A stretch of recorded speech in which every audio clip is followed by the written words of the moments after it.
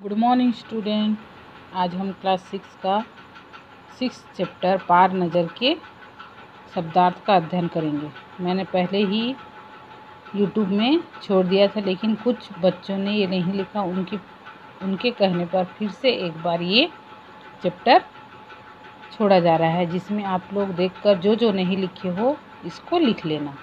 क्योंकि इसको लिखने के बाद ही तुम लोग आसानी से इस चैप्टर को समझ जाओगे और बुक को पढ़ने के बाद, पाठ को पढ़ने के बाद ही तुम आसानी से उसको समझकर उसका उत्तर भी लिख सकते हो। क्योंकि इसके अंदर में बहुत छोटे छोटे प्रश्न आते हैं, जिसको तुम पढ़ने के बाद समझ जाओगे।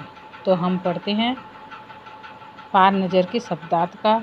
इस पार नज़र को पाठ को लिखा है, जयंत विष्णु नागकर जी ने। तो कुछ कठिन शब्द हैं, उसको तुम लोग लिखोगे, जो है मौका का अर्थ है अवसर। संदेहास्पद, संदेहपूर्ण। खैरियत, कुशल।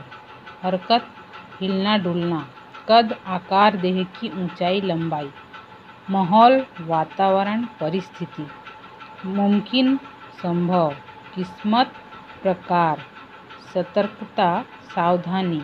शिफ्ट, पारी। मनसा, इच्छा।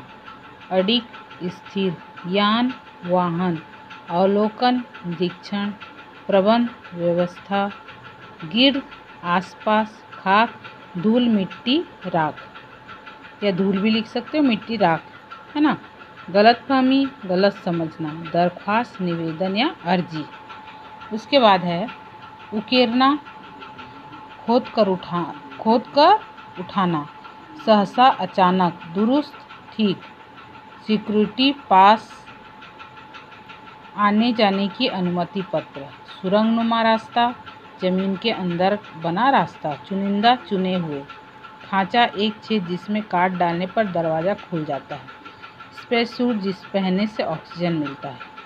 पैनल कंसोल पैनल, कंप्यूटर का बटन।